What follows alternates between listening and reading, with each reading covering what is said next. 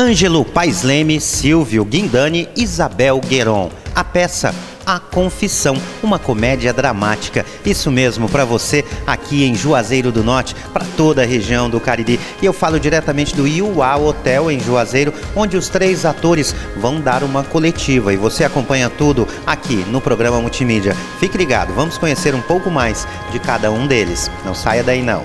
Bom, a peça, a peça ela é, poderia falar que, que ela é quase um triângulo amoroso, né? É um espetáculo onde três personagens resolvem, eles por acaso se reencontram é, e Três amigos. três amigos, três amigos de escola dez anos depois. 10 anos depois, que tem intimidade. Na verdade, os dois, os dois caras já se, se encontram, já se, se veem assim, constantemente, mas a, a personagem, a Amy, que é a personagem que a Isabel faz, ela já está um tempo distante, são quase 10 anos, que eles não têm Foi ex-namorada dele. é, que eles não têm visto. E aí, nesse reencontro, é, que ele se dá de uma maneira meio, meio escorregadia, porque parte de uma, da artimanha de um deles, né, da manipulação de um deles, esse encontro se dá. A partir dessa manipulação. Ele que ser, o que seria um encontro amigável, né, o que seria de repente um encontro normal, onde você coloca em dia as as notícias, as novidades, como é que cada um está, ou pode re- revis- rever coisas do passado, matar saudade, ele passa, ele levanta né, um assunto né, que diz respeito a uma, uma, uma, uma história que aconteceu uns 3 a 10 anos atrás. E esse assunto que vem à tona, ele passa a ser é, forçosamente o assunto do dia. E isso acaba se virando uma lavação de roupa suja, vamos dizer assim, aspas. É, o que cria uma série de tensões entre os três. Na medida que você não sabe é, quem está dizendo a verdade.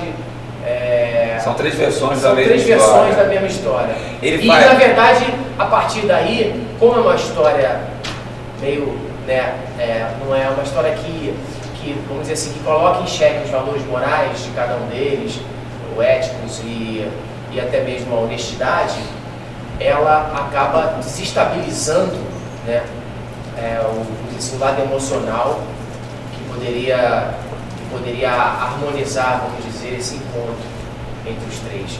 E aí, a partir dessa desarmonia, eu acho que a a tensão vai ficando grande e, e, e o conflito estabelecido vai atingindo é, um grau elevado de de- estresse, de, tensão, que vai desembocar, obviamente, no final é, Surpreendente. surpreendente.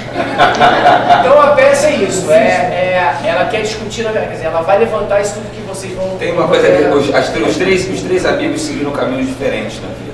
É, ele se tornou um, É, falando dos ele personagens. se tornou um vendedor de drogas bêbado que fica com 15 anos até hoje. É, eu me tornei um pseudo cineasta, um cineasta iniciante, GPC, e ela se tornou uma Promotora. pública.